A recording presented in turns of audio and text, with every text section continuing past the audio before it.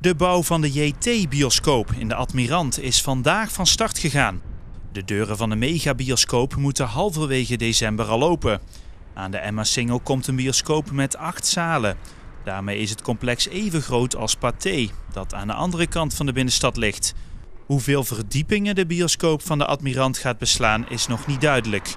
JT-bioscopen heeft in Nederland 22 filialen. Dat is goed voor een bezoekersaantal van zo'n 3 miljoen per jaar.